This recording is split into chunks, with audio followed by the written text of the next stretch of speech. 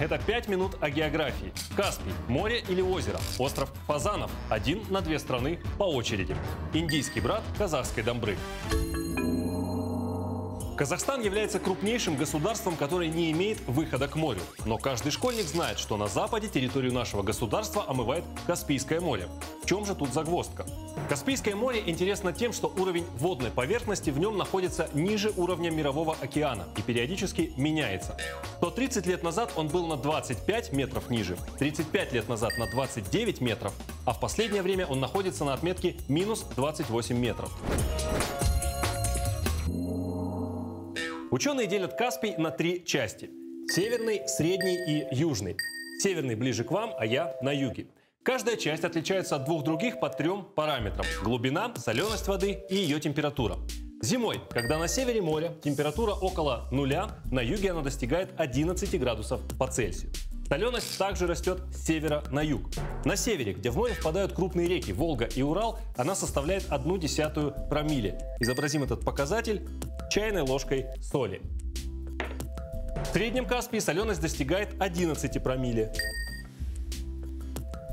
И, наконец, в Южном Каспии соленость воды достигает 13 промилле. И теперь о глубине. Она тоже растет с севера на юг.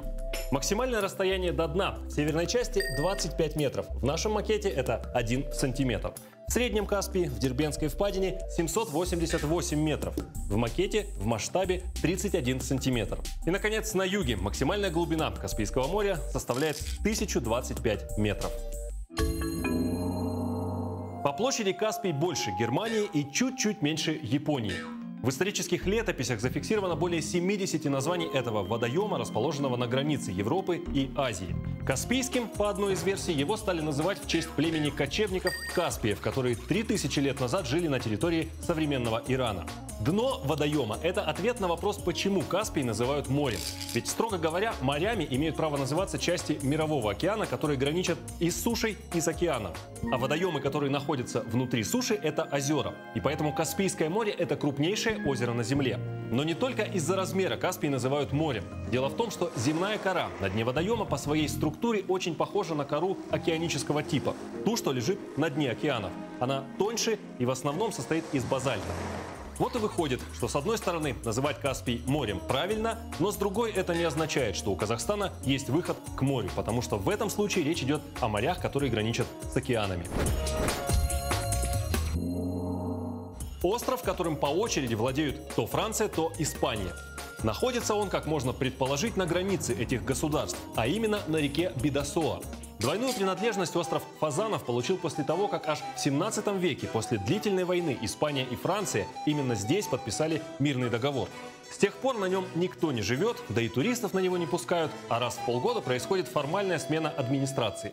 Шесть месяцев островом заведует муниципалитет испанского города Ирун, другие шесть месяцев – власти французского города Андай.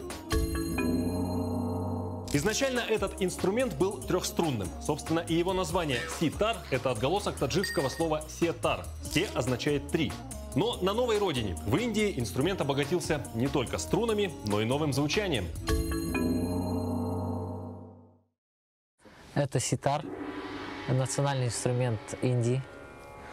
Она является одним из древнейших инструментов всего мира.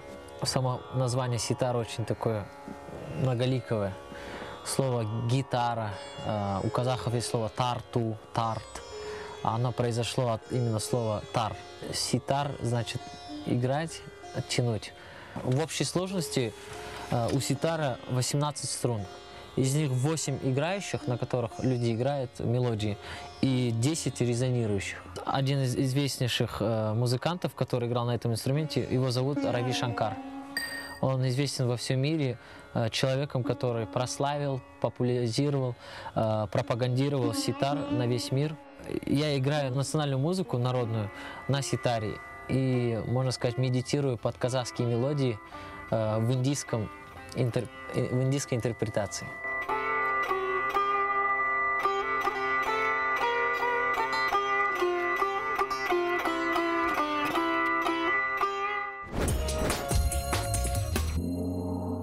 Это была программа «5 минут о географии» с любовью к земле и людям. Пока!